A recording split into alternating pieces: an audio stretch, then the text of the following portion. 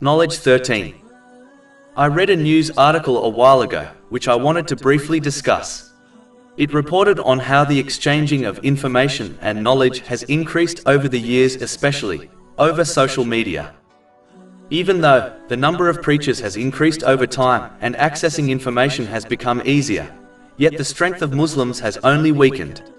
One of the reasons is that many Muslims have adopted a mentality which has hindered them from learning and acting on Islamic knowledge. They believe merely listening to Islamic knowledge is good enough to succeed. This is a trap of the devil and completely contradicts the attitude of the companions, may Allah be pleased with them, and the righteous predecessors. They not only listened to religious knowledge, but they fully intended and fulfilled this intention by acting on the knowledge they heard.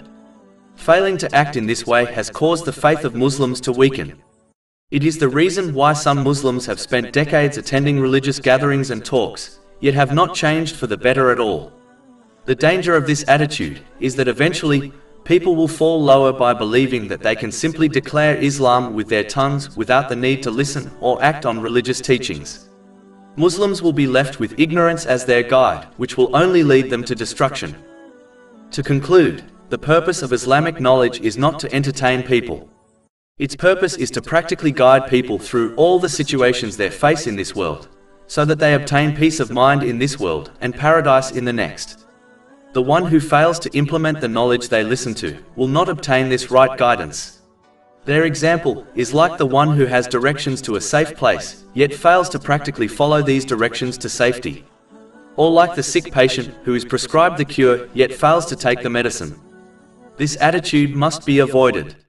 Chapter 17 Al Isra, verse 82. And we send down of the Quran that which is healing and mercy for the believers, but it does not increase the wrongdoers except in loss. Over 400 free ebooks, audiobooks, infographics, podcasts, and blogs available on our website www.shaykhpod.com.